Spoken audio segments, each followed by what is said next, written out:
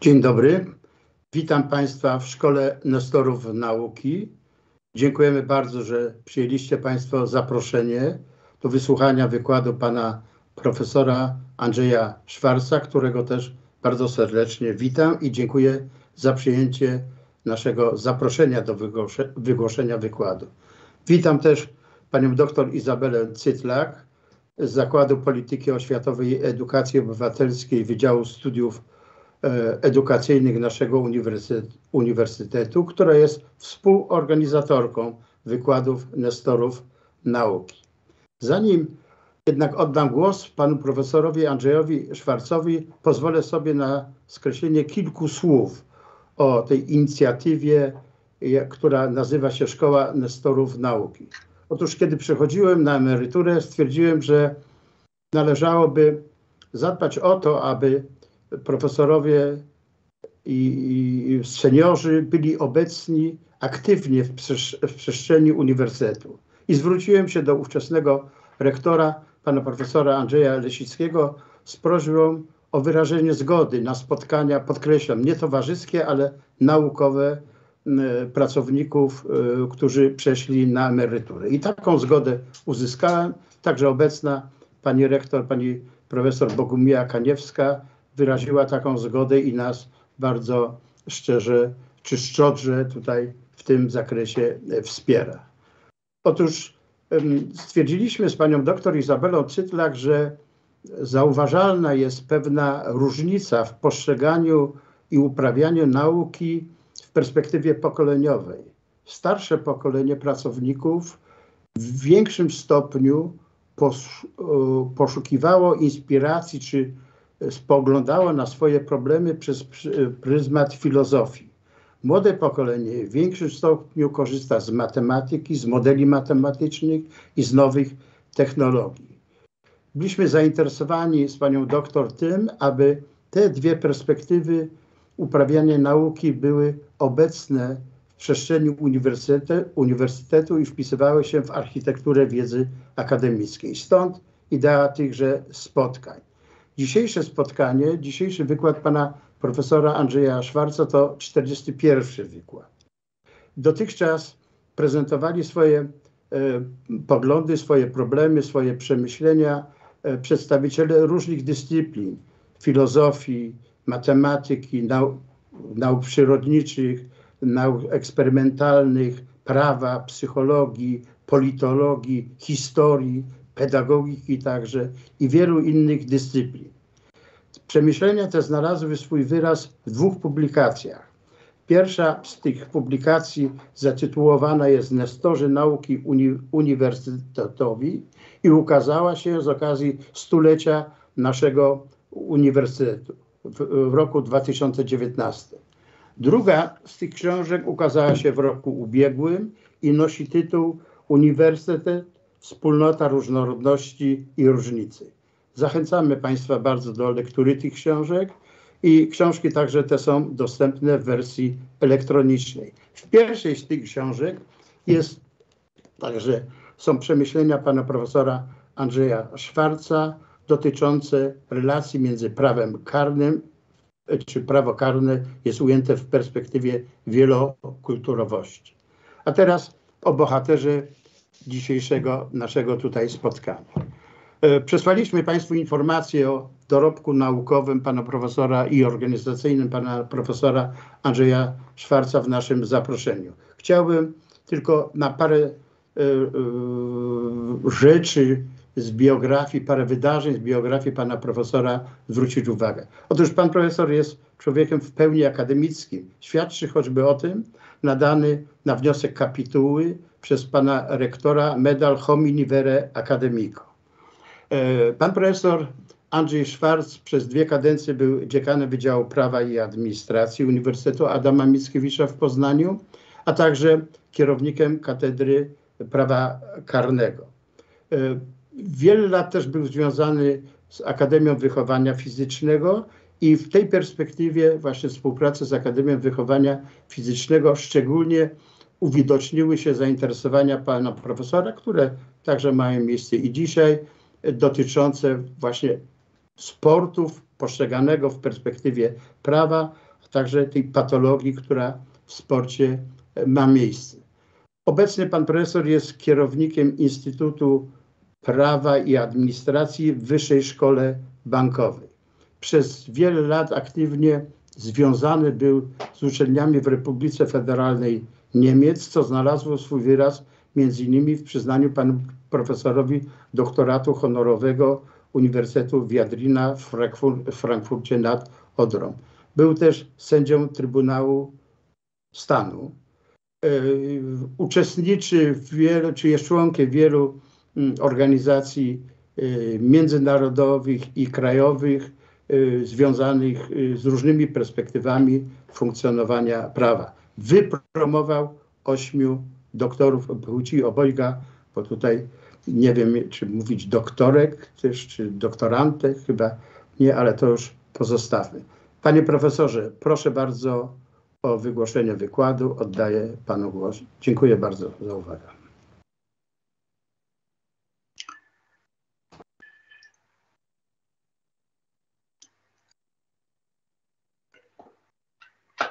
Serdecznie witam i pozdrawiam wszystkich uczestników dzisiejszego wykładu. Proszę o chwilę cierpliwości, bo chciałbym włączyć multimedialną prezentację, z użyciem której będę prezentował swój wykład. Serdecznie witam wszystkich uczestników tego wykładu. Bardzo dziękuję Państwu za udział we wykładzie.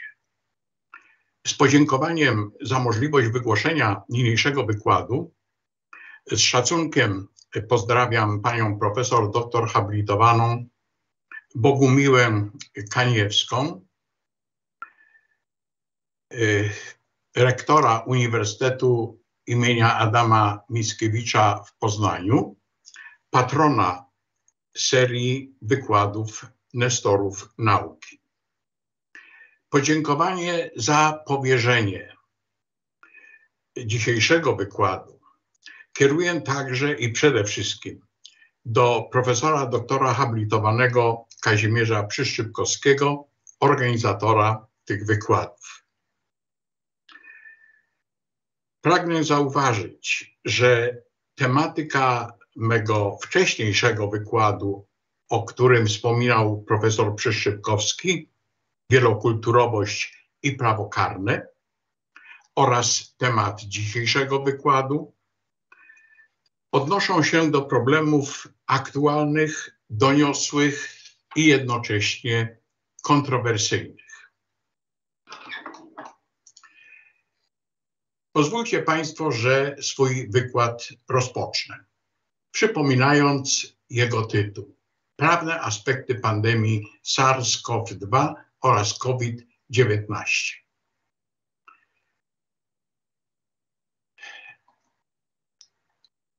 Do wypowiedzi poświęconej prawnym aspektom pandemii, dzisiaj nam towarzyszącej, skłania mnie podobieństwo tej pandemii do pandemii HIV-AIDS oraz okoliczność, że ponad 30 lat temu zajmowałem się prawnymi aspektami tamtej pandemii.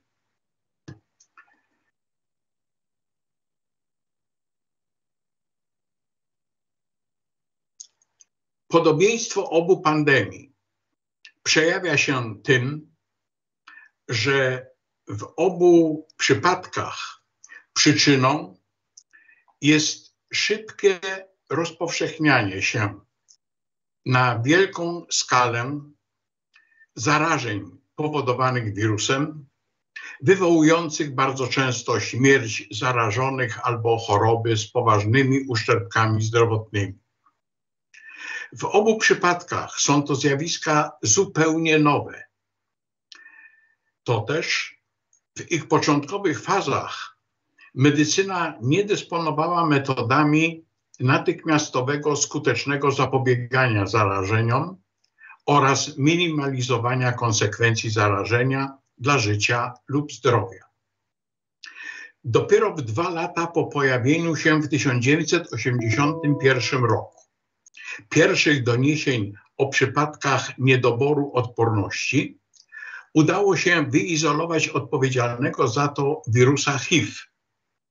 Dopiero w 1985 roku pojawił się pierwszy test pozwalający stwierdzić w organizmie człowieka przeciwciała sugerujące infekcję wywoływaną tym wirusem. I dopiero po dalszym czasie stworzono leki nie likwidujące wprawdzie wirusa HIV w organizmie zarażonego, ale łagodzące konsekwencje dla życia i zdrowia zarażonego. Natomiast po pojawieniu się pandemii SARS-CoV, po kilku tygodniach poznano genomen tego wirusa, co pozwoliło stworzyć niebawem testy stwierdzające zarażenie oraz po upływie około roku stworzono pierwsze szczepionki zapobiegające, względnie ograniczające niebezpieczeństwo zarażenia i rozpoczęto nimi akcję szczepień. Wiedza o tej pandemii jest jednak ciągle jeszcze niepełna. Uzyskanie w tym zakresie pełnej wiedzy będzie pewnie do, możliwe po upływie dopiero dłuższego czasu, zwłaszcza, że co róż pojawiają się nowe odmiany tego wirusa. Wśród różnic między obu pandemiami na czoło wysuwa się zróżnicowana transmisja infekcji obu wirusów do organizmu człowieka. O ile zarażenie wirusem HIV dokonuje się wyłącznie przez styczność z krwią i innymi płynami ustrojowymi osoby zarażonej, o tyle zarażenie wirusem SARS dokonujące się w drodze kropelkowej, a także wskutek ruchu powietrza, Zarażeniem tym wirusem jest więc możliwe w warunkach różnych powszechnie przejawiających się kontaktów międzyludzkich. W każdym razie pożądane jest przypomnienie i uświadomienie sobie tych problemów prawnych, które pojawiły się wcześniej w związku z pandemią HIV-AIDS, bo przynajmniej niektóre z nich już towarzyszą także obecnej pandemii. Inne mogą pojawić się, zresztą także w związku z różnymi dalszymi innymi podobnymi pandemiami, już coraz powszechniej prognozowanymi. Zaprezentowanie, choćby w zarysie, problemów prawnych rozważanych po pojawieniu się pandemii HIV-AIDS jest pożądane także po to, aby zademonstrować w ten sposób fakt, że podjęto wówczas rozważanie tych problemów natychmiast po pojawieniu się pandemii. Że objęto tymi rozważaniami problemy, które, jak sobie wówczas wyobrażano, mogą się pojawić, mimo że w rzeczywistości przynajmniej niektóre z nich albo w ogóle potem się nie pojawiły, albo były rejestrowane w stosunkowo niewielkich rozmiarach.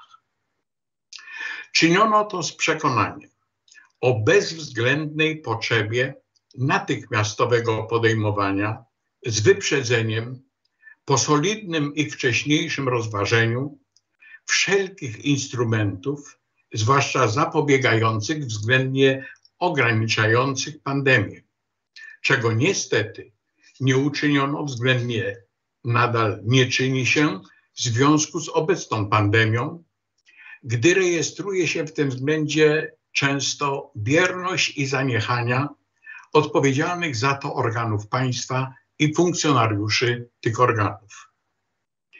I to mimo imponującej i w pełni przekonywającej w tym względzie aktywności takich autorytetów medycznych, jak między innymi profesor Jacek Juszczyk, profesor Krzysztof Simon, dr Paweł Grzesiowski i inni oraz mimo natychmiastowego pojawienia się w tym zakresie także stosownych rozważań prawniczych i prawniczo-medycznych, czego tylko przykładami są publikacja profesorów Teresy Gardockiej i Dariusza Jagieły na temat Pandemia COVID-19, a prawa i wolności obywateli, albo publikacja Joanny Długosz-Jóźwiak i Elżbiety Paszyńskiej na temat prawne i medyczne wyzwania pandemii.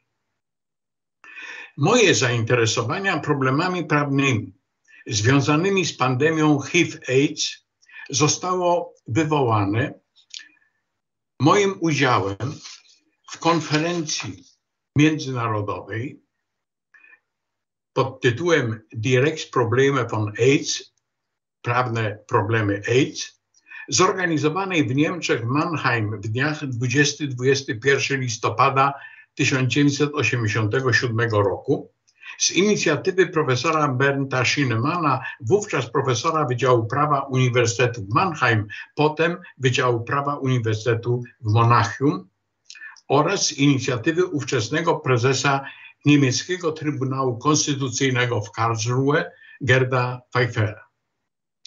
Materiały tej konferencji zostały upowszechnione w prezentowanej Państwu publikacji. Liczne podobne konferencje odbywały się potem także w wielu innych krajach. W Polsce była nią zorganizowana przeze mnie ogólnopolska konferencja na temat prawne problemy AIDS, odbywająca się w Poznaniu w dniach 29-30 czerwca 1988 roku z referatami wielu kompetentnych osób, w tym m.in. profesora Jacka Juszczyka, ówczesnego dyrektora Kliniki Chorób Zakaźnych Poznańskiej Akademii Medycznej oraz m.in.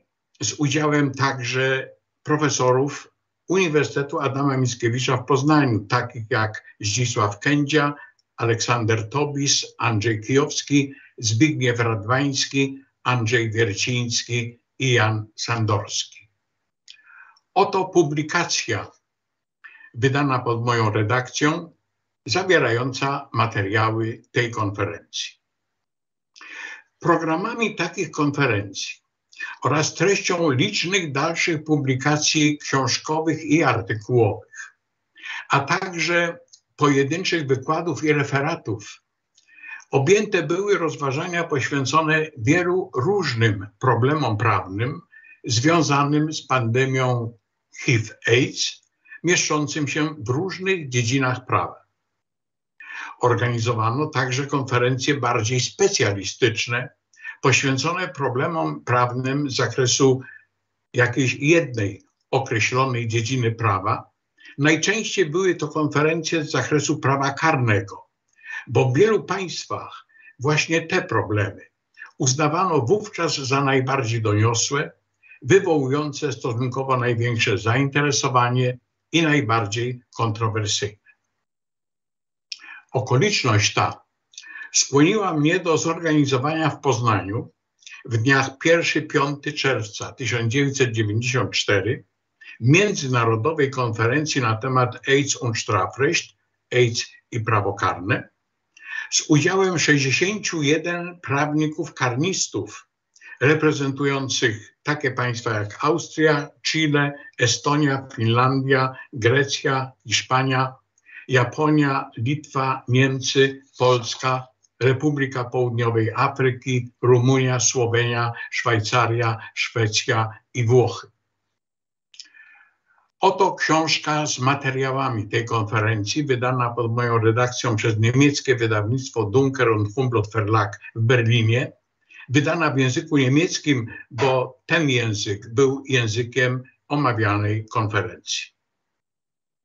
Krótko potem, z wykorzystaniem dorobku tej konferencji, ale z uwzględnieniem polskiego systemu prawnego, zorganizowałem w Poznaniu w dniach 19-21 października 1995 konferencję krajową AIDS i prawo karne.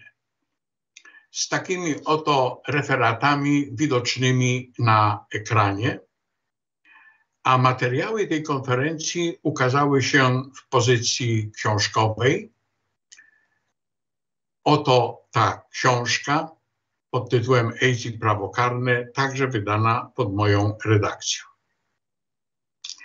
Przedsięwzięcia te były inspiracją do dalszego podejmowania problematyki prawnej związanej z HIV-AIDS, także w polskim piśmiennictwie prawniczym. Między innymi stworzyłem serię wydawniczą AIDS i prawo, w której w latach 1999-2005 ukazało się 11 prezentowanych na ekranie pozycji poświęconych wielu różnym problemom prawnym związanym z HIV-AIDS z zakresu różnych dziedzin prawa. Oto okładki tych książek zawierające rozważania, o których przed chwilą była mowa. Realizowano także międzynarodowe i krajowe prawnicze problemy badawcze, projekty badawcze poświęcone prawnym problemom HIV-AIDS. W Europie największym takim projektem był prezentowany Państwu projekt Unii Europejskiej, realizowany w latach 1993-1995 z konferencjami międzynarodowymi odbytymi w Manchester Londynie, Kopenhadze, Rotterdamie, Paryżu, Carmonie i Pradze. Kierownikiem tego projektu był profesor dr John Harris z Uniwersytetu Manchester we Wielkiej Brytanii.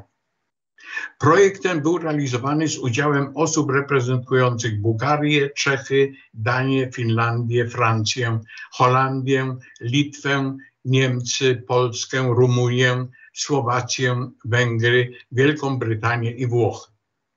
Poza mną polskimi jego uczestnikami były także profesor Ewa Kujawa oraz profesor Alicja Przyłuska-Fischer. Raport z realizacji tego projektu został opublikowany w tej oto pozycji przez Unię Europejską. Między innymi pojawiło się wówczas pytanie o to, czy problemy prawne związane z HIV-AIDS rozwiązywać tworzeniem w tym celu regulacji prawnych specjalnie i bezpośrednio odnoszących się do tego zjawiska, czy też odpowiednim stosowaniem regulacji prawnych ogólnie obowiązujących w różnych dziedzinach prawa.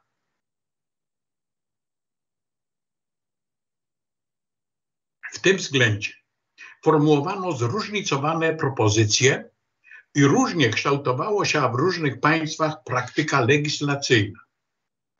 Przykładem tworzenia w tym celu specjalnych regulacji prawnych było ujęcie wówczas w artykule 161 paragraf 1 Polskiego Kodeksu Karnego przestępstwa bezpośredniego narażenia innej osoby na zarażenie wirusem HIV przez osobę posiadającą wiedzę o swym zarażeniu tym wirusem. Przestępstwa zagrażonego pierwotnie karą pozbawienia wolności do lat trzech, a obecnie po późniejszej nowelizacji kodeksu i prezentowanej Państwu na ekranie wersji karą pozbawienia wolności od 6 miesięcy do lat 8. Nie sposób w krótkiej z konieczności prezentacji zrelacjonować wszystkie problemy prawne pojawiające się wówczas w związku z pandemią HIV-AIDS oraz bogactwa piśmiennictwa prawniczego poświęconego tej problematyce. Wskażę niektóre tylko problemy mieszczące się w różnych dziedzinach prawa. Wskażę je zresztą tylko w zarysie.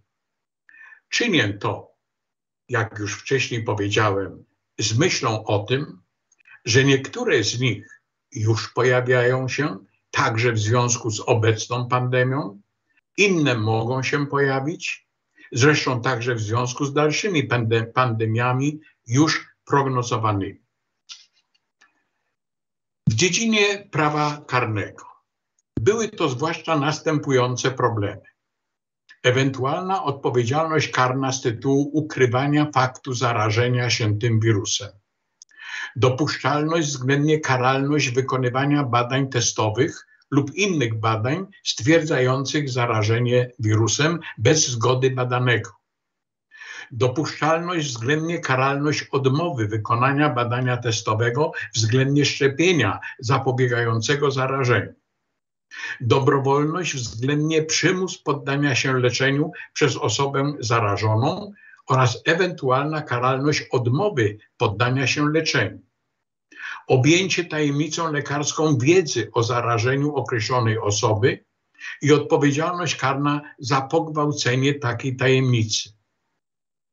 Odpowiedzialność karna za zarażenie albo za narażenie na zarażenie innej osoby wirusem względnie za spowodowanie zarażeniem określonych konsekwencji dla życia lub zdrowia zarażonego albo za narażenie zarażonego na takie konsekwencje. Rozważano egzekwowanie odpowiedzialności karnej wobec osoby zarażonej wirusem HIV lub dotkniętej już chorobą AIDS z tytułu popełnienia przez taką osobę jakiegoś przestępstwa oraz możliwość wymierzenia takiej osobie i wykonywania przez taką osobę określonych rodzajów kar i innych środków reakcji prawnokarnej. W kontekście prowadzenia postępowań karnych z udziałem oskarżonego, pokrzywdzonego względnie innych osób zarażonych wirusem HIV analizowano takie kwestie jak wykonywanie wobec takich osób w toku procesu badań testowych na obecność wirusa HIV w organizmie, opiniowanie tych kwestii przez biegłych, jawność względnie wyłączenie jawności rozprawy sądowej przebiegającej z udziałem osoby zarażonej wirusem HIV, granice objęcia takich informacji tajemnicą i inne.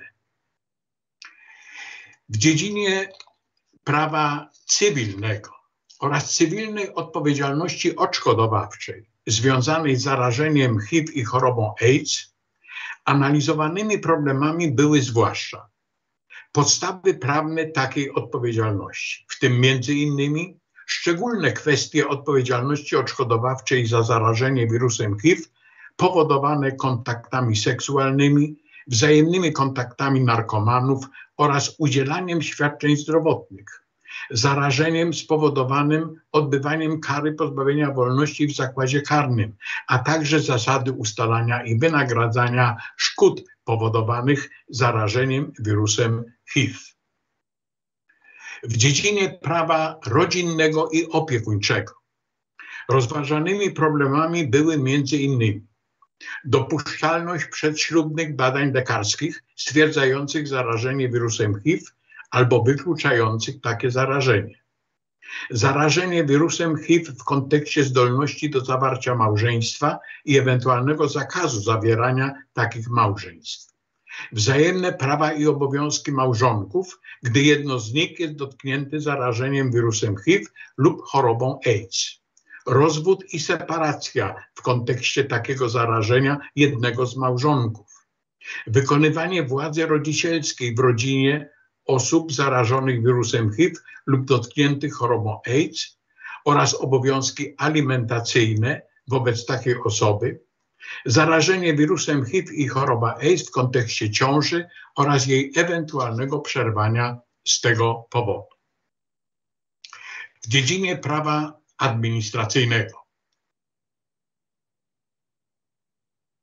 Rozważano m.in. procedury wykonywania badań stwierdzających zarażenie wirusem HIV, dopuszczalność i dobrowolność względnie ustanowienie obowiązku poddawania się takim badaniom, wykonywanie szczepień ochronnych, hospitalizowanie, izolowanie i kwarantanna osób zarażonych wirusem HIV, ich dobrowolne względnie przymusowe leczenie, dopuszczalność ujawniania przypadków zarażeń, wykonywanie różnych świadczeń zdrowotnych wobec osób zarażonych, w tym zwłaszcza pobieranie krwi, krwiolecznictwo, dawstwo nasienia przez zarażonych, wytwarzanie produktów leczniczych pochodzących z krwi lub ososza ludzkiego osób zarażonych, postępowanie wobec narkomanów w związku z HIV-AIDS. w dziedzinie prawa pracy i prawa socjalnego. Rozważano zatrudnienie takich osób albo osób podejrzanych o zarażenie.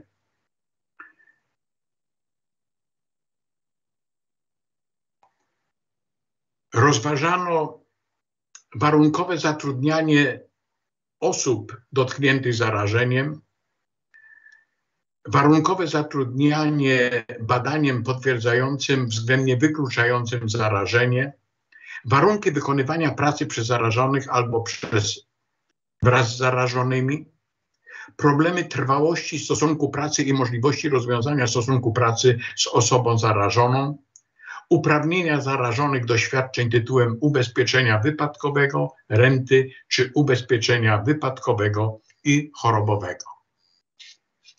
W dziedzinie prawa mediów.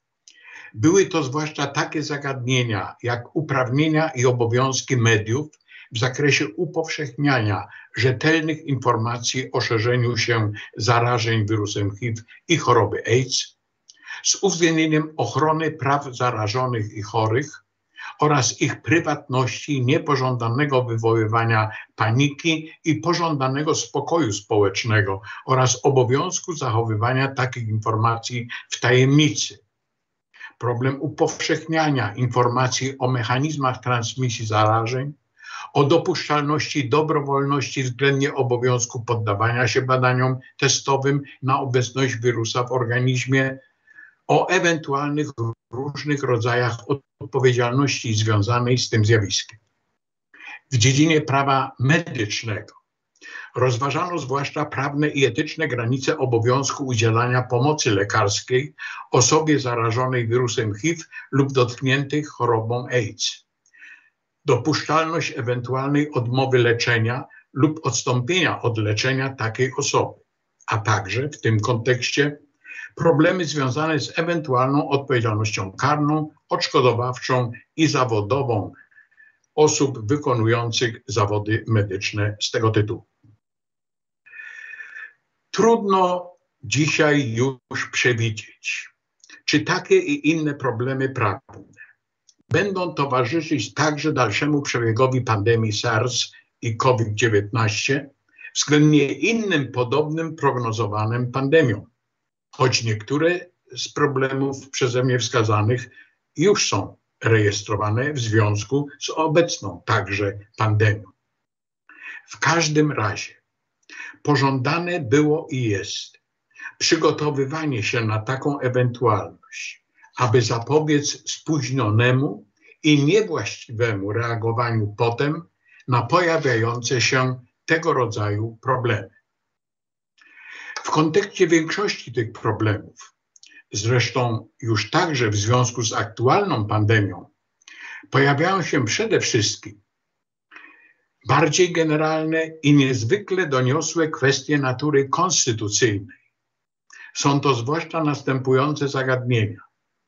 Legislacyjna poprawność tworzenia regulacji prawnych związanych z pandemią ich zgodnego z prawem stosowania w praktyce oraz kompatybilność takich regulacji z konstytucyjnie chronionymi prawami, wolnościami i wartościami.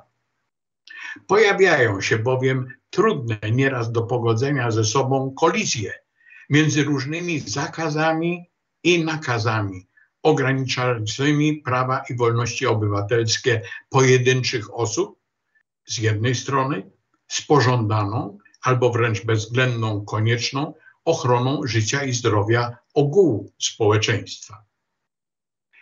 Nie jestem w stanie w ograniczonej czasowo wypowiedzi szerzej rozwijać i pogłębiać choćby niektóre tylko problemy prawne związane z obecną pandemią, już pojawiające się albo mogące pojawić się, nawet gdybym chciał ograniczyć się do tych tylko problemów prawnokarnych, które objęte są uprawianą przeze mnie specjalnością.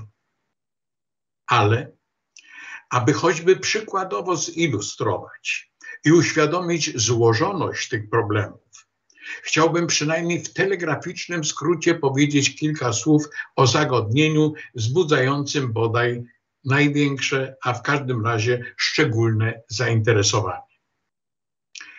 Jest to problem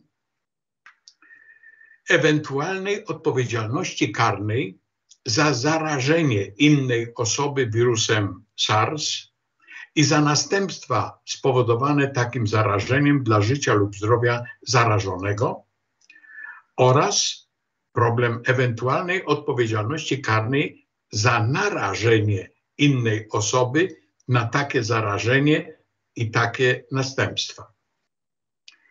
Najpierw o tym, że problematyczna jest możliwość egzekwowania odpowiedzialności karnej za zarażenie innej osoby wirusem SARS lub za spowodowanie takim zarażeniem śmierci zarażonego albo uszczerbku w jego zdrowiu, choć przecież w praktyce rejestruje się i to masowo tego rodzaju następstwa zakażeń.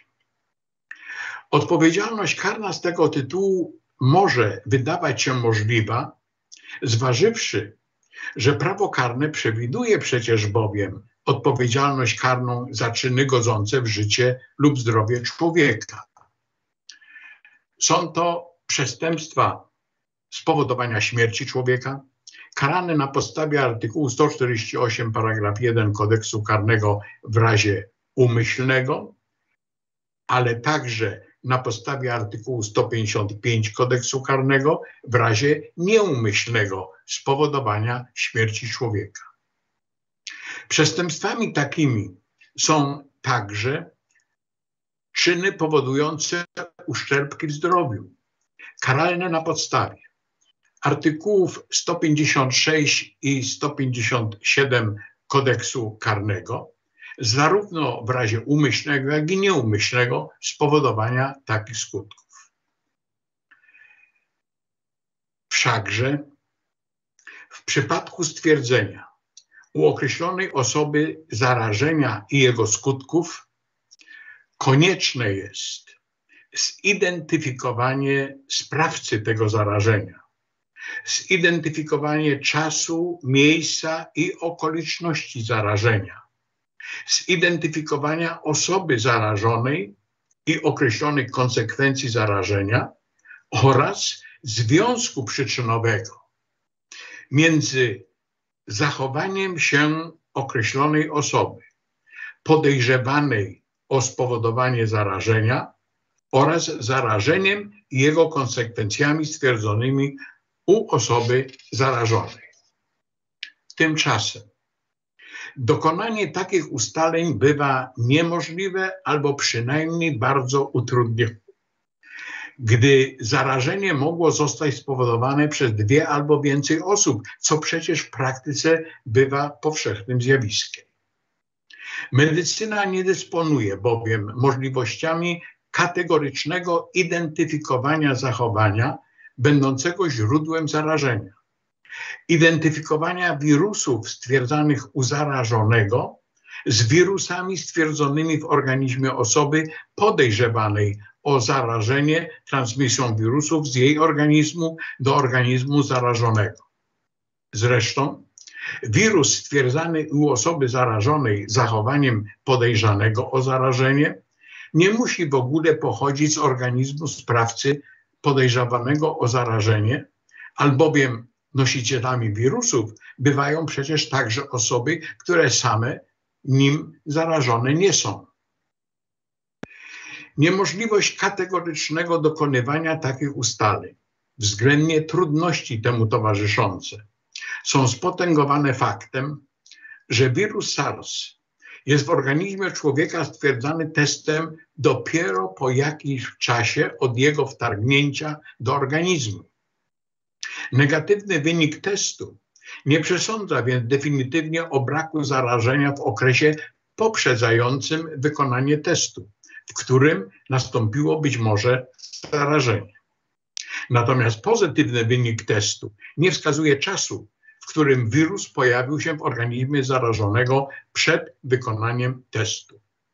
Niemożliwe albo przynajmniej trudne bywa więc zidentyfikowanie czasu zachowania się osoby podejrzewanej o zarażenie z czasem zarażenia osoby zarażonej.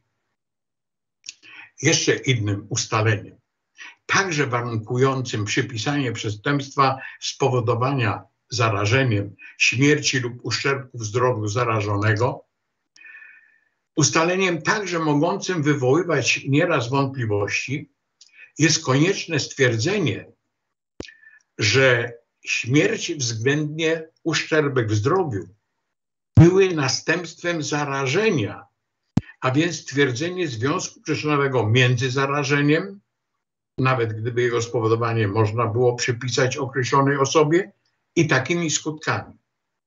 Nieraz skutki takie bywają bowiem, choćby w jakimś stopniu, konsekwencją innych albo także innych przyczyn, zwłaszcza innych chorób zarażonego, tak zwanych chorób współistniejących. Ponadto konsekwencje zarażenia dla życia lub zdrowia zarażonego pojawiają się nieraz albo mogą pojawić się dopiero po jakimś czasie, co także utrudnia ich łączenie związkiem przyczynowym z jakimś zachowaniem określonej osoby podejrzewanej o spowodowanie zarażenia. W tym kontekście należy zauważyć, że ciągle jeszcze nie ma przecież pełnej wiedzy o konsekwencjach zarażenia wirusem SARS, które mogą pojawić się w organizmie osób zarażonych w dalszej i to dużo dalszej przyszłości. Wskazane wyżej problemy. Wykluczające albo przynajmniej bardzo utrudniające egzekwowanie odpowiedzialności karnej za popełnienie w formie dokonania. Z tytułu zarażenia wirusem SARS, przestępstwa pozbawienia życia albo spowodowania uszczerbku w zdrowiu uświadamiano sobie już wcześniej w związku z pandemią HIV-AIDS. To też już wówczas koncentrowano się z tego powodu na stworzeniu regulacji pozwalającej egzekwować odpowiedzialność karną nie za zarażenie, lecz za narażenie na zarażenie wirusem HIV. W polskim prawie karnym przejawiło się to wówczas wprowadzeniem do kodeksu karnego wspominanego już raz jeszcze Państwu prezentowanego artykułu 161 paragraf 1 kodeksu karnego prezentowanego w jego aktualnym brzmieniu. To wcześniejsze doświadczenie związane z HIV-AIDS sprawia, że także w związku z obecną pandemią bardziej możliwe jest ewentualne egzekwowanie odpowiedzialności karnej nie za zarażenie, lecz za narażenie na zarażenie wirusem SARS. Kodeks karny zawiera stosowne regulacje przewidujące taką odpowiedzialność. Są nimi regulacje mogące ewentualnie znaleźć zastosowanie w przypadku narażenia na zarażenie wirusem SARS, a mianowicie artykuł 160 paragraf 1 i 3 przewidujące odpowiedzialność karną zarówno za umyślne, jak i nieumyślne narażenie człowieka na bezpośrednie niebezpieczeństwo utraty życia albo ciężkiego uszczerbku zdrowia. Jest to artykuł także 161, paragraf 2 kodeksu karnego, przewidujący odpowiedzialność karną za bezpośrednie narażenie innej osoby na zarażenie chorobą zakaźną, ciężką chorobą nieuleczalną lub realnie zagrażającą życiu. Jest to także artykuł 161, paragraf 3 kodeksu karnego, mogący być podstawą ewentualnej odpowiedzialności karnej za narażenie na zarażenie wielu osób oraz artykuł 165, paragraf 1 kodeksu karnego, przewidujący m.in. odpowiedzialność karną za sprowadzenie niebezpieczeństwa dla życia lub zdrowia wielu osób, powodując zagrożenie epidemiologiczne lub szerzenie się choroby zakaźnej, zarówno w razie umyślnego, jak i nieumyślnego popełnienia takiego czynu, a w razie jego umyślnego popełnienia odpowiedzialność surowszą w razie spowodowania w ten sposób śmierci człowieka lub ciężkiego uszczerbku na zdrowiu wielu osób. Bardziej rozwinięta i bardziej pogłębiona analiza ewentualnego egzekwowania w kontekście aktualnej pandemii, odpowiedzialności karnej z tytułu popełnienia wskazanych przestępstw, z tytułu narażenia na zarażenie wirusem SARS lub z tytułu narażenia w ten sposób na utratę życia lub uszczerbek w zdrowiu, wymagałaby poświęcenia temu bardziej czasochłonnych rozważań.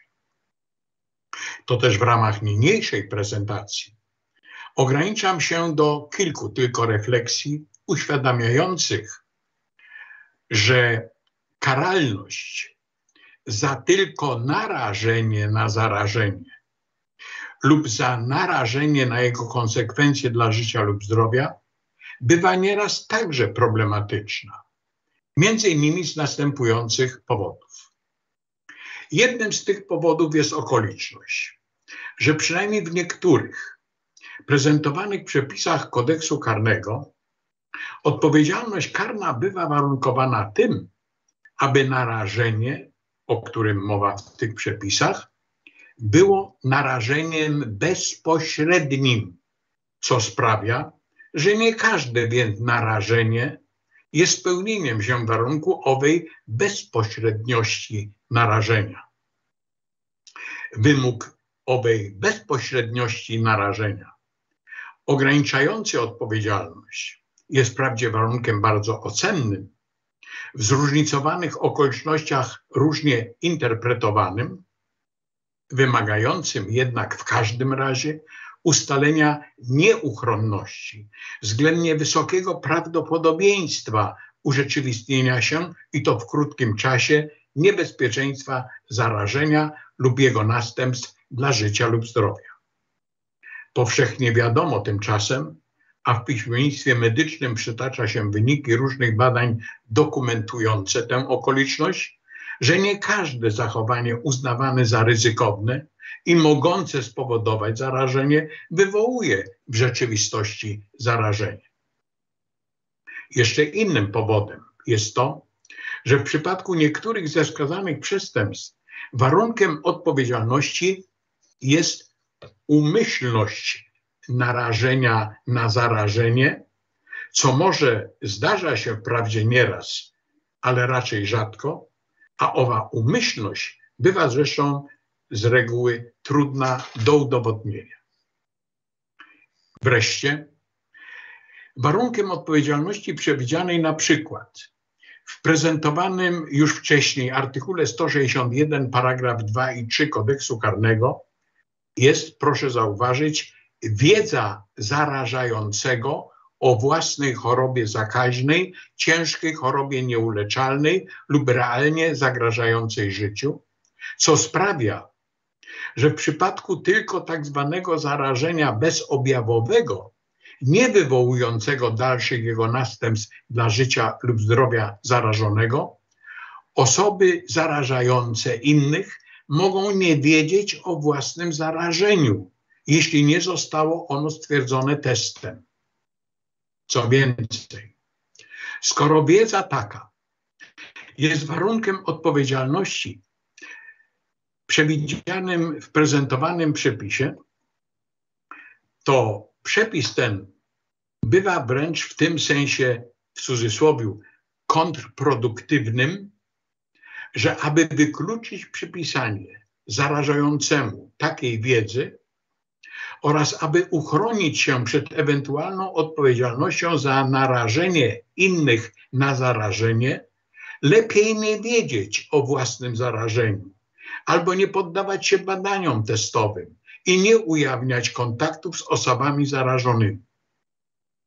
Pożądane jest tymczasem przecież, by badania testowe i ujawnianie wiedzy o innych osobach zarażonych było zjawiskiem masowym. Są to bowiem przecież bardziej skuteczne instrumenty ograniczania pandemii niż karanie przewidziane w omówionych przepisach. Między innymi już powyższe refleksje skłaniają do zaprezentowania następujących ogólniejszych wniosków. Wprawdzie stanowczo i kategorycznie należy w każdym razie potępiać wszelkie zachowania będące nieprzestrzeganiem zasad ostrożności zasad zapobiegających lub ograniczających rozpowszechnianie się pandemii, bo zachowania takie mogą powodować zarażenia i następstwa takiego zarażenia dla życia lub zdrowia, to jednak wskazane w niniejszej prezentacji okoliczności sprawiają, że możliwość egzekwowania z tego tytułu odpowiedzialności karnej, że możliwości te są bardzo ograniczone. Definitywnie nie wykluczam wprawdzie w pewnych przypadkach takiej możliwości, to jednak przestrzegałbym przed naiwną wiarą w omnipotencję prawa karnego w tym zakresie. Przed naiwną wiarą co do skutecznego ograniczania pandemii, zagrożeniem i egzekwowaniem odpowiedzialności karnej za narażanie na zarażenie wirusem SARS.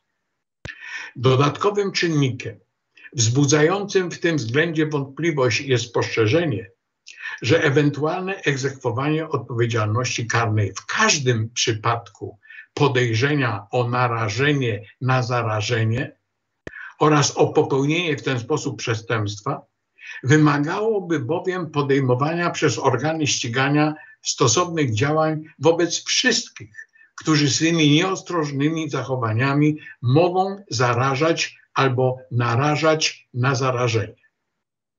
Z uwagi na to, że zachowania takie są rejestrowane, jak wiadomo, powszechnie i w wielkich rozmiarach, reakcja organów ścigania wymagałaby zaangażowania do takiej aktywności ogromnej liczby funkcjonariuszy rejestrujących wszelkie takie nieostrożne zachowania i podejmowania przez nich w każdym wypadku stosownych, czasochłonnych czynności procesowych.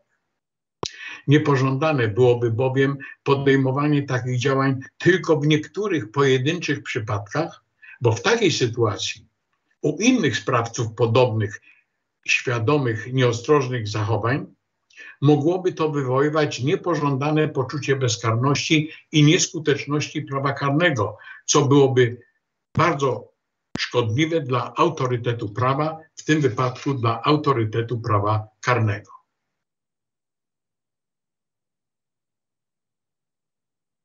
W takiej sytuacji głoszenie postulatu egzekwowania z tego tytułu odpowiedzialności karnej oraz jej wręcz zaoszczanie jest wyłącznie przejawem populizmu i dokumentowania w ten sposób tylko pozornej walki z pandemią.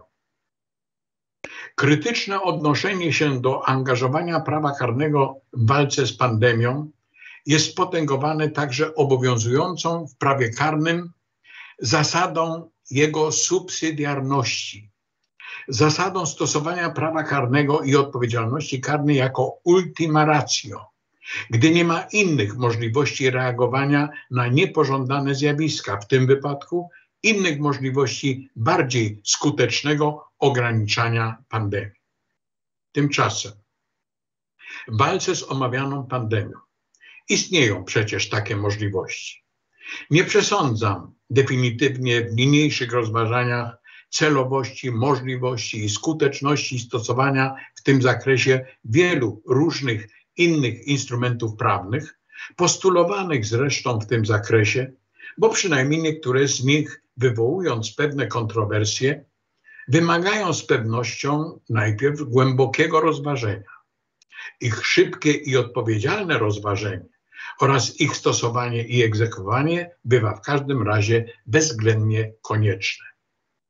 Wbrew temu, w działalności różnych organów państwa i funkcjonariuszy tych organów rejestruje się niestety w tym względzie bierność i zaniechanie.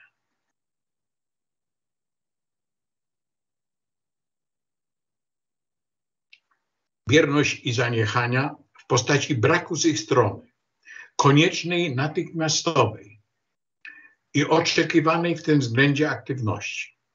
Jeśli natomiast tworzy się w walce z pandemią stosowne regulacje prawne, to bywa, że regulacje te tworzy się z opóźnieniem, zbyt późno i nagle, często w sposób mało czytelny i niezrozumiały, albo w sposób wywołujący niepożądane wątpliwości bez pożądanego ich wcześniejszego rozważenia i przygotowania, gdy powinno się to czynić z wyprzedzeniem.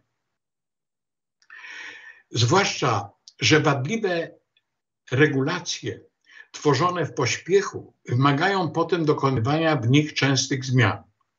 Nie służy to kształtowaniu pożądanej spójności i stabilności prawa, a także świadomości prawnej społeczeństwa, tym donioślejszej, że nieświadomość prawa nie usprawiedliwia jego naruszania, zwłaszcza w prawie karnym, w którym nieświadomość prawa nie wyklucza odpowiedzialności karnej za popełnienie czynu, którego bezprawność nie jest objęta świadomością jego sprawcy.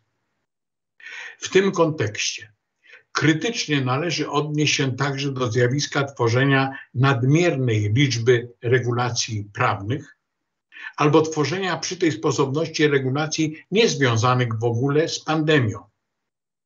Gdy ich tworzenie nie zyskałoby zapewne akceptacji, gdyby nie sugestia, że mają one związek z pandemią. Natomiast zarzut tworzenia nadmiernej liczby regulacji prawnych, co także nie służy przecież kształtowaniu pożądanej świadomości prawnej, jest dokumentowany faktem, że już tylko w okresie do czerwca ubiegłego roku były one objęte aż dziewięcioma ustawami, liczącymi łącznie 339 stron i 188 rozporządzeniami liczącymi łącznie 430 stron. Wreszcie, niektóre instrumenty stosowane w walce z pandemią ograniczają ją w rzeczywistości tylko pozornie, sprawiając wrażenie demonstrowania tylko pozornych działań podejmowanych w tym zakresie. Tak bywa na przykład z ustalaniem limitów osób mogących uczestniczyć w różnych zgromadzeniach, gdy na przykład różnica między limitem 50 i 100 osób w żadnym znaczącym stopniu nie różnicuje niebezpieczeństwa zarażenia, albo gdy limitami takimi nie obejmuje się osób zaszczepionych, tak zwanych ozdrowieńców, albo legitymujących się negatywnymi testami, bo mogą być one mimo tego nosicielami wirusów. Samo tworzenie takich ograniczeń bywa zresztą nieskuteczne, gdy nie towarzyszy temu ich bezwzględne i odpowiedzialne egzekwowanie. Krytycznie należy odnieść się także do rejestrowanego niestety w praktyce zjawiska tworzenia w walce z pandemią regulacji prawnych tworzonych z pogwałceniem zasad poprawnej legislacji tak bywa na przykład w przypadku tworzenia takich regulacji aktami niższej rangi, na przykład rozporządzeniami, w miejsce wymaganej regulacji ustawowej. Niepożądaną konsekwencją takiej praktyki bywa to, że mimo ich tworzenia, regulacje te i przewidziane w nich instrumenty prawne są potem w praktyce kwestionowane i w rzeczywistości nie osiąga się nimi pożądanego rezultatu praktyką jeszcze bardziej naganną, także niestety rejestrowaną, bywa postulowanie, stosowanie pewnych zakazów, nakazów czy ograniczeń nie przez określone organy państwa, lecz przez inne podmioty, na przykład przez pracodawców, przedsiębiorców, właścicieli hoteli, restauracji, szkoły i innych, bez wyposażenia ich w podstawy prawne tworzone w sposób legislacyjnie poprawny, oraz bez legislacyjnie skutecznych sankcji gwarantujących ich egzekwowanie, a także w kontekście ochrony danych osobowych bezprawnie dopuszczalnej ustawą możliwości pozyskiwania wiedzy o zarażeniu określonej osoby wirusem SARS, o jej chorobie, o jej wyzdrowieniu, o jej zaszczepieniu oraz o innych okolicznościach związanych z pandemią. W kontekście postulatu ograniczania pandemii pożądanym, właściwym tworzeniem i egzekwowaniem innych niż odpowiedzialność karna, albo także innych skutecznych instrumentów, należy zwrócić uwagę na, na naganne zjawisko niepodporządkowywania się zasadom ostrożności ograniczającym pandemię, zakazom, nakazom, różnym regułom ostrożności i innym podobnym instrumentom nie tylko przez pojedyncze osoby, ale na jeszcze bardziej naganne zjawisko ich generalnego kwestionowania i nawoływania do, tak, do tego także innych. Są to zjawiska szczególnie naganne, gdy są efektem niewiedzy lub krańcowego lekceważenia wiedzy powszechnie rozpowszechnianej, potwierdzanej przez medyczne autorytety, albo gdy mimo takiej wiedzy cyniczny brak reakcji na takie zjawiska bywa podyktowany populizmem lub względami politycznymi. Wprawdzie pojedyncze osoby nie podporządkowując się różnym zakazom, nakazom, ograniczeniom i innym zasadom ostrożności, mogą bezkarnie narażać w ten sposób własne życie lub zdrowie na niebezpieczeństwa, ale nie mogą w ten sposób narażać na to innych. Jest to więc krańcowo naganne, cyniczne i karygodne narażanie ogółu społeczeństwa na takie niebezpieczeństwa takim narażaniem ogółu społeczeństwa na takie niebezpieczeństwa jest także brak stosownych reakcji na takie zjawiska ze strony organów państwa do tego powołanych. Są to zjawiska niewspółmiernie groźniejsze niż pojedyncze, nieostrożne ludzkie zachowania mogące zarażać wirusem SARS. O ile bowiem takie pojedyncze zachowania grożą i to tylko nieraz, i tylko potencjalnie życiu lub zdrowiu pojedynczych osób. O tyle wskazane wyżej zjawiska, nieodpowiedzialne i wręcz karygodne, są zagrożeniem dla życia i zdrowia ogółu społeczeństwa. Zasługując na kategoryczne potępienie, nie mogą być uzasadniane tego rodzaju rzeczy ochroną wolności obywateli, autonomią jednostki, prawem do prywatności, wolnością przekazań, czy zasadą równości obywateli i zakazem dyskryminacji. Jest to bowiem nieodpowiedzialne i wręcz karygodne uznawanie wskazanych praw i wolności pojedynczych osób za wartości zasługujące na większą ochronę, aniżeli życie i zdrowie ogółu obywateli, całego społeczeństwa. Jest zresztą paradoksem, że w interesie ochrony życia i zdrowia ogółu społeczeństwa nie kwestionuje się przecież takich ograniczeń w sferze wolności, jak zakaz palenia papierosów w miejscach publicznych, zakaz zakupu napojów alkoholowych przez małoletnich, zakaz prowadzenia pojazdów bez stosownych uprawnień oraz wiele innych zakazów, nakazów i ograniczeń. Doniosłość powyższych zarzutów. Jest potęgowana faktem, że jest to odpowiedzialność za śmierć tysięcy osób, nieraz nawet 300 albo więcej osób w ciągu doby, za uszczerbki w zdrowiu dziesiątki i setek tysięcy dalszych osób, nieraz 20, 30 tysięcy albo jeszcze większej liczby osób zarażanych w ciągu doby. Zwłaszcza, że jak się uważa, Rzeczywista liczba zarażonych bywa w rzeczywistości dwukrotnie, względnie nawet trzykrotnie większa od przypadków oficjalnie stwierdzanych. Natomiast w ogóle nie jest jeszcze znana liczba osób, u których dopiero w bliższej albo dalszej przyszłości pojawią się mniej albo bardziej groźne konsekwencje obecnej pandemii. W zakończeniu niniejszej prezentacji chciałbym podkreślić, że odnoszą się moje uwagi wprawdzie w, i w pierwszym rzędzie do aktualnej pandemii, to jednak mają one charakter uniwersalny. Odnoszą się także, albo nawet wręcz zwłaszcza z myślą o możliwości pojawiania się ewentualnych dalszych, innych podobnych pandemii, już zresztą prognozowanych, a także jeszcze bardziej rzecz generalizując, z myślą o różnych innych w ogóle zagrożeniach mogących pojawiać się w przyszłości, na które należy reagować zawsze z pożądanym i koniecznym wyprzedzeniem, z uwzględnieniem wcześniejszych doświadczeń i bez powtarzania popełnianych wcześniej błędów. Serdecznie dziękuję Państwu za uwagę. Tak? Tak. Panie profesorze, bardzo dziękuję. Zanim rozstaniemy się, e, taką informację chciałem przekazać, którą powinienem na samym początku przekazać e, dla słuchaczy, że może, mogliście Państwo, nadal możecie jeszcze drogą na maila, który został Państwu podany, kierować pytania pod adresem do Pana Profesora.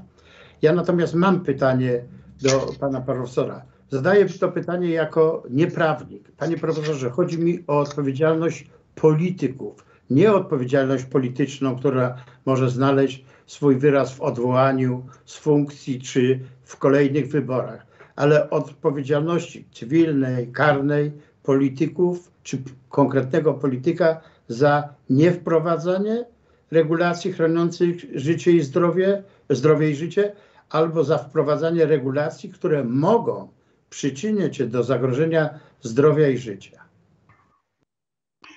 Czy takie coś ma miejsce, panie profesorze? Y, słyszy się już nieraz w tej chwili tego rodzaju postulaty. Postulaty, by wcześniej czy później pociągnąć do odpowiedzialności osoby z tytułu tych różnych działań, a raczej zaniechań i bierności, o których mówiłem. Wszakże y, nie chciałbym odnosić się w sposób kategoryczny do Pańskiego pytania, bo w sposób kategoryczny i przemyślany można i należy do takiego zagadnienia odnosić się, wiedząc o konkretnej osobie, o konkretnych jej działaniach, zaniechaniach, bierności, zaniechaniach i okolicznościach, w jakich to miało miejsce. Najogólniej rzecz ujmując, takiej odpowiedzialności naturalnie wykluczyć nie można. Ale i od tego momentu chciałbym swój własny, prywatny pogląd w tej sprawie wstępny wyrazić. Daleki jestem od tego, by za wszelką cenę karać, wsadzać do więzień osoby, które dopuszczają się takich zachowań, nawet jeśli zasługują te zachowania na krańcowe potępienie. Natomiast dla mnie ważniejszą rzeczą, z myślą o dalszej przeszłości, byłoby pozbawianie w każdym razie takich osób prawa pełnienia funkcji publicznych, by w przyszłości, w przypadku dalszych tego rodzaju pandemii, dalszych tego rodzaju zagrożeń, społeczeństwo nie było narażane na takie nieodpowiedzialne zachowania. Tyle na razie z mojej strony na ten temat. Bardzo dziękuję. E, mam pytanie do pani doktor. Czy pojawiły się jakieś pytania? Nie, nie mamy żadnych pytań. Dobrze.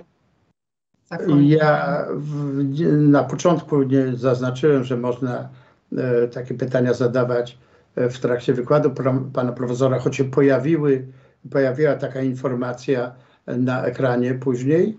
E, jeżeli natomiast Państwo byście mieli pytania do, do pana profesora czy do nas, to my będziemy też, e, przekażemy te pytania e, panu, panu profesorowi, to proszę takie pytania do, do pana profesora, do nas kierować, także odpowiemy Państwu na zadane przez Państwa pytania. Panie profesorze, bardzo dziękuję za naprawdę świetny wykład, bardzo ustru świetnie ustrukturalizowany i uporządkowany, narracja bardzo czytelna nawet dla nieprawnika, ale to, co z Pańskiego wykładu wynika, to ogrom problemów, jakie wiążą się właśnie w zderzeniu prawa z różnymi kontekstami, które w życiu człowieka się pojawiają, w życiu społeczeństwa się pojawiają. Wcześniej pańskie rozważania artykułu o prawo karne, a wielokulturowość, teraz prawo karne w perspektywie zderzenia z różnymi problemami zdrowia. Tu pojawia się także problem świadomości społeczeństwa, świadomości prawnej y, społeczeństwa i tak myślę, łącząc swoją profesję z, z profesją pana profesora o pedagogice prawa, że ta edukacja prawna społeczeństwa no, wymaga jeszcze wiele, wiele pracy w tym, w tym obszarze, w tym zakresie, aby społeczeństwo miało świadomość, że może wpływać poprzez, dzięki swojej wiedzy na e, określone wybory polityczne i, i, i na polityków. Panie profesorze, jeszcze raz bardzo, bardzo dziękuję za naprawdę wspaniały e, wykład i, i zapraszam pana na kolejne nasze tutaj spotkania i będę na pewno pana profesora prosił o kolejny wykład.